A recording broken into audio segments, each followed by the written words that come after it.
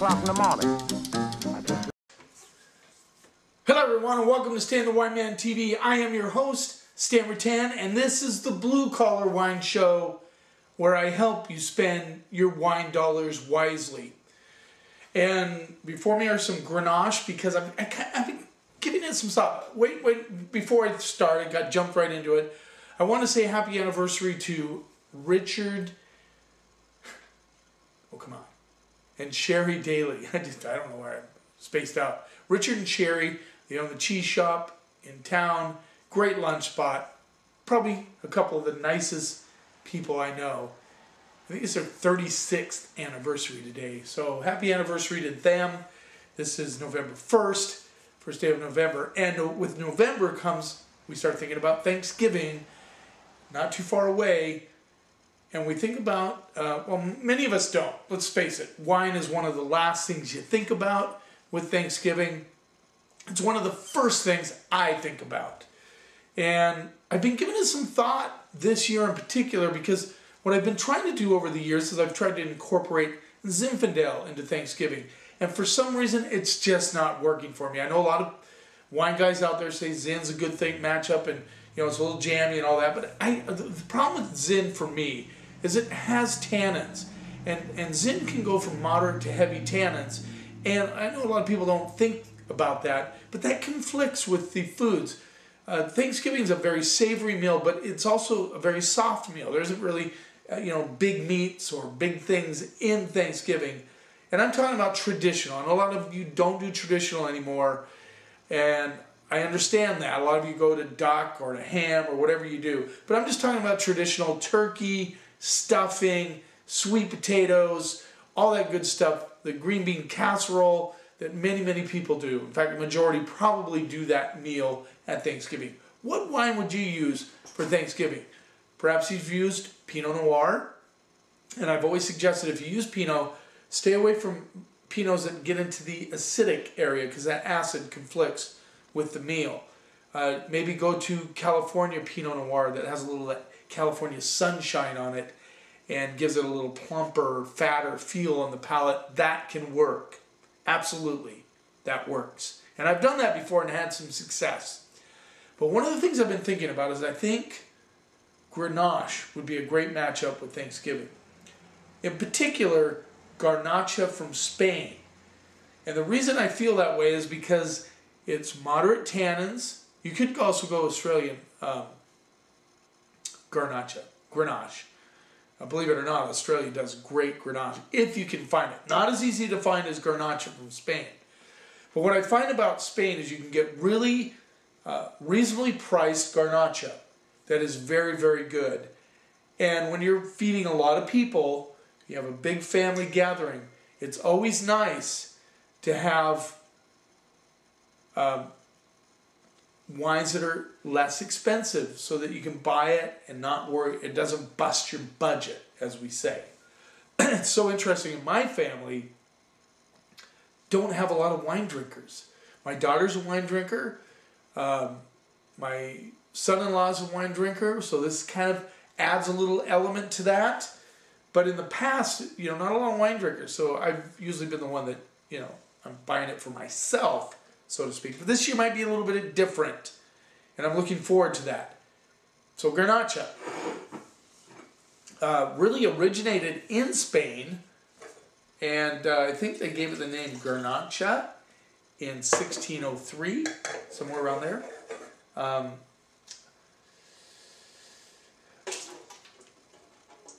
so it's really, you know, it, it has its home in Spain. That's where it came from.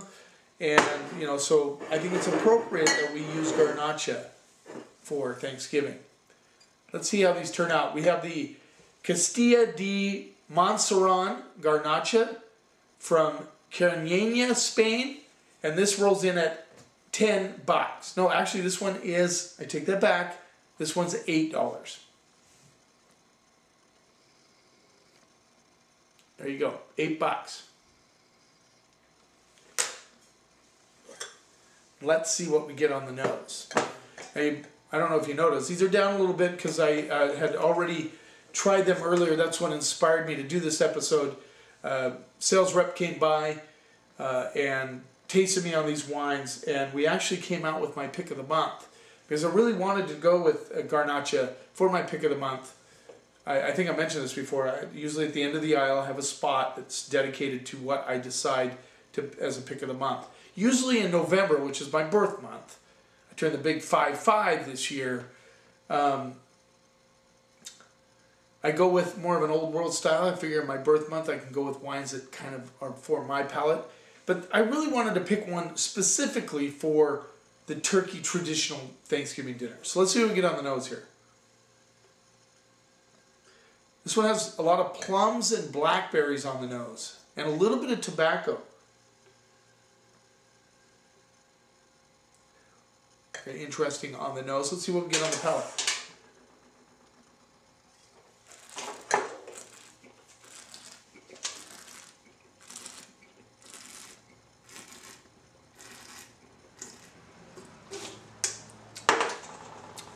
Has a little bit of juiciness. This has some minerality at the end of it. But the thing I like about these is it's a lighter style um, wine, but good fruit flavors, good blackberry, plum, tobacco comes through right on the back of the mid palate into the finish. Now, I, we use the term tobacco quite a bit, and I know there's some critics out there that say you can't get tobacco, whatever. I whatever, you do get tobacco, and uh, this one has that minerality on the backside. Now when you add the savory elements of Thanksgiving, that minerality blends in nicely. The cool thing about this wine is it doesn't have heavy tannins. It's very smooth, they're there, it's good structure, but not heavy tannins, which would interfere with the lighter style of the savoriness of the meal. A lot of words, you probably get the point.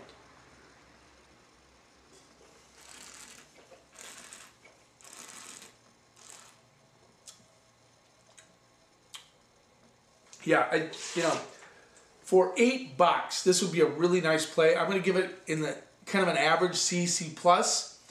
It doesn't have a huge amount of complexity, but that being said, great wine.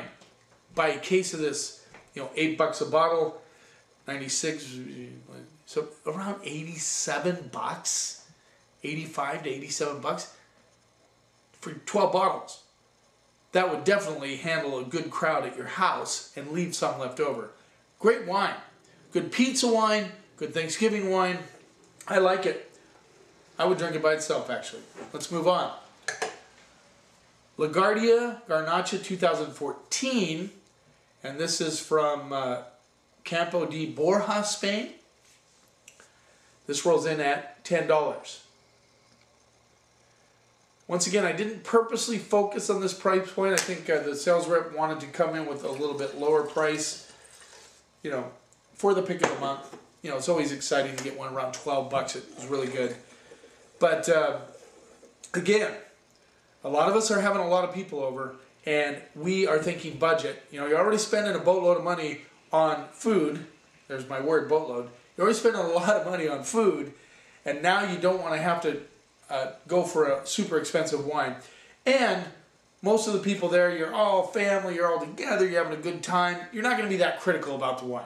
Maybe I would be, but most people would not be. By the way, good time to be a Washingtonian. Huskies are doing good, Cougars are doing good, Seahawks, well, they lost this last game, but they're still leading their division.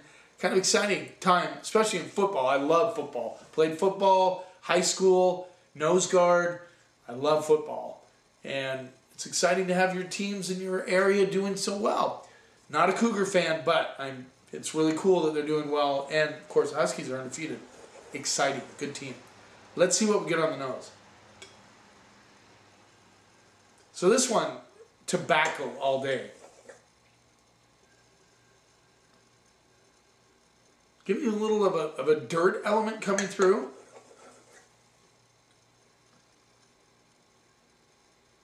This is leaning kind of towards uh, uh, currants and strawberries on the nose.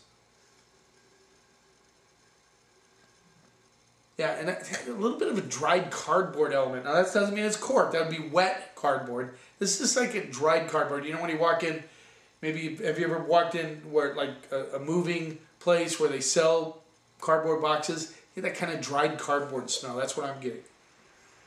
Let's see what we get on the palate.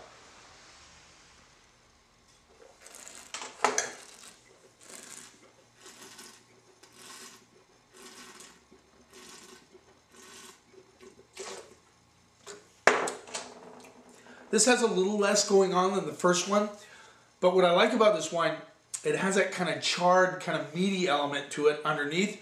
Again, not heavy tannins, but a ton of tobacco. I mean, this is tobacco front to back. Might be off-putting to some of you who like fruitier wines.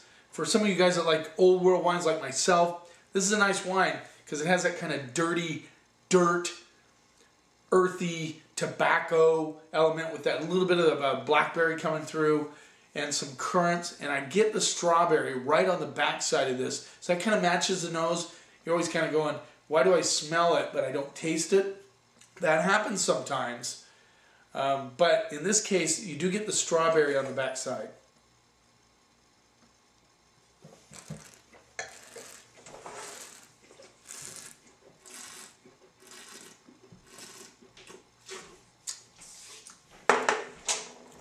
I like this wine too. I think this wine would be really good with um, turkey. A little bit too earthy. I, I would be careful with this one unless you know all the palates of everyone that's sitting at the meal that they would like this style. I personally like it. I might actually get some of this for Thanksgiving. I might get a couple of these because I just kind of want to compare and see. You know, that's how geeky I am. I'm always thinking about food and wine pairings, how they work together, and it helps me because I get a lot of people that come up the aisle. They say, well, you know, I'm having this, I'm having this, what would go with that and that. Happens a lot. A lot. And so I really think about it a lot. And so I'm going to experiment this Thanksgiving with different wines. I will do Grenache. I will do a Pinot Noir. Of course, you got to do Pinot Gris. Riesling's always good. Can't go wrong with Riesling or Gewürztraminer. But I'm, right now we're doing red. So, you know, kind of earthy, very tobacco-y, is that a word? Tobacco-y? A lot of tobacco, a little bit of strawberry on the finish. You know, get that blackberry element coming through. I'm going to go CC plus on this one too. I think it's an average, a little above average wine, average to above average. I like it. I especially like the price point of 10 bucks. Let's move on. Artazuri Garnacha 2013. Um, this is produced by Artadi, and this is coming from Navarra, Spain. And you notice I'm not getting into a lot of geography of Spain and where these regions are necessarily. Uh, don't want to make this episode go too long. I was really more interested in talking about the pairing of the wines to Thanksgiving meal, to the Thanksgiving meal. So I'm sorry if you want to know all that stuff. Just not going to go there on this episode. Let's see what we get on the nose. So a little stink action going on.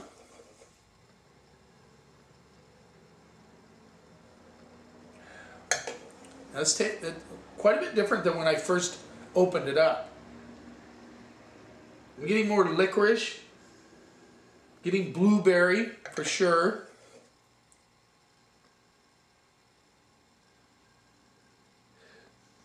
Little blackberry element, so it kind of gets blueberry, blackberry. thing going on. Let's see what we get on the palate. And this the stink kind of blows off right away, but initially I got that little bit of stink action, which is okay. You know, you don't want to, you, you never want to kind of throw, this is a bad wine because it stinks a little bit. Just give it a chance to kind of breathe out of your glass and that will go away most times. There's only one time, one time I can remember I smelled the wine, it smelled like poop, and it tasted like poop. I couldn't get to the sink fast enough. I was trying it in my bedroom. I was watching a sports thing going on, and um, I don't know. I could not get there fast enough. It's the only wine I've ever ran into that smelled and tasted like poop. I don't want to have that experience too many times.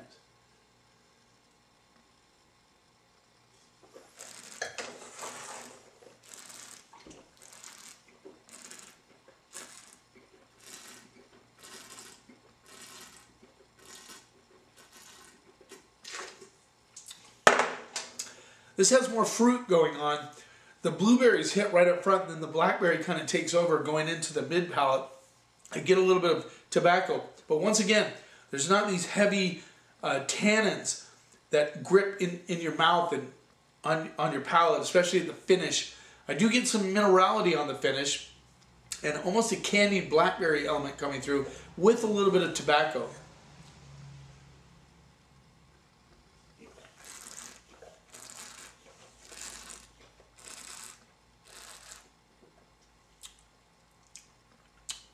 So this one was also 10 bucks.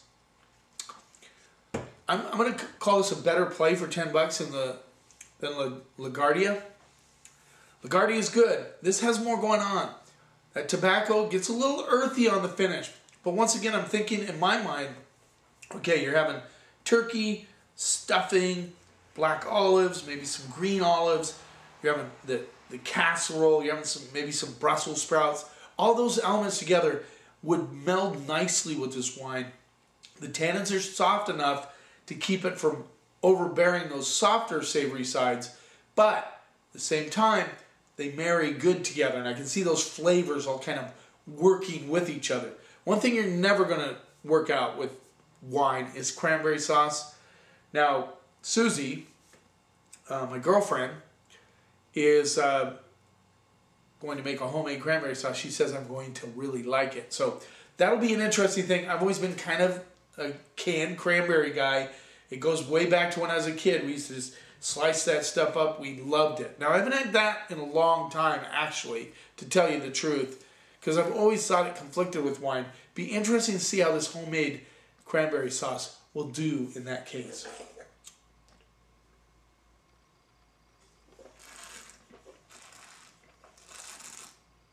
Yeah, the licorice comes through. Oh, excellent wine. I'm gonna go. I'm gonna go B plus on this. I think it's a really good play. If you can find this, uh,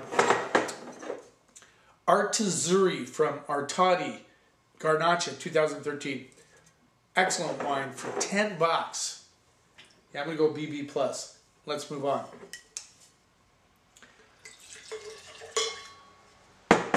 Rinse here.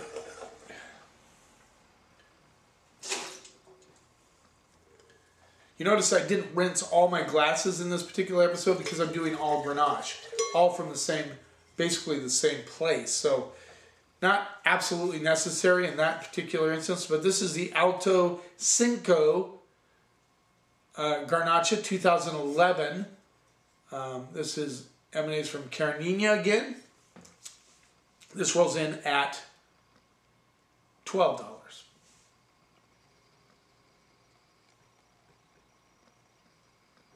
So in our Garnacha tasting, this particular wine, this particular wine was my is going to be my pick of the month. So let me tell you what I see on this and why I made that decision. First of all, it's 12 bucks, a little bit more than these.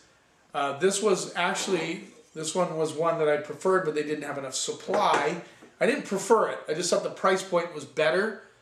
Uh, but this one has a lot of character, and let me tell you what we get on the nose.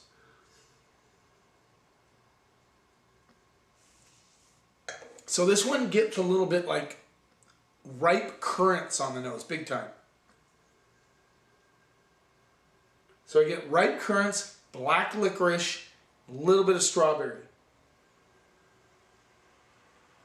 coming through on the nose. And again, that dried cardboard thing ha is happening on there.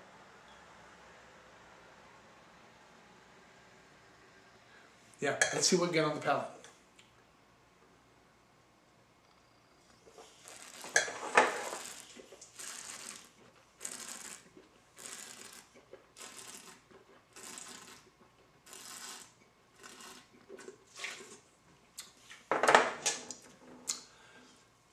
This has a little bit of Amarone characteristics to it, so it gets that kind of real dried currant flavor. We might say raisin. It doesn't go completely raisin, but it's there.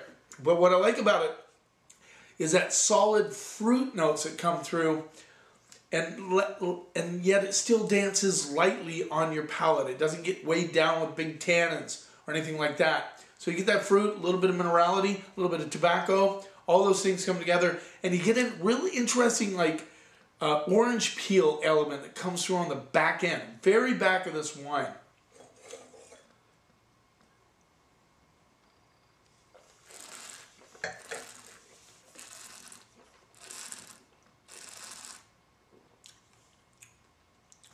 Yeah, I like this wine a lot. Um, the only reason I was going to go there was because of the price point, but when they said they didn't really have a good supply, and you know, we're talking quite a few cases go out the door on my pick of the month. Even for a couple bucks more, you get a much deeper wine without getting heavy. That's a good thing. That citrus on the backside is a real plus, but not acidic, okay? Just that kind of citrus flavor comes through on the backside. And I can see that working with a lot of the different elements of the Thanksgiving meal. So that is going to be my pick of the month at King's Market, San Juan Island, Friday Harbor. For the month, if you can find it, I know uh, not all of you live here. If you can find this one, let me give you a real close up again. I think for 12 bucks, it's a real good play for Thanksgiving. And I hope I'm going to make a strong effort to remember to report to you guys after Thanksgiving on my episode how I thought they worked with the meal. And you know, if I'm wrong, I'll admit it because that's the way I roll. You keep watching, and I'll keep helping you spend your wine dollars wisely. Hey, Cat. It's 4 o'clock in the morning. I just left the studio. Here we are in Harlem. Everybody's here but the police, and they'll be here any minute. It's high time. The song. It is.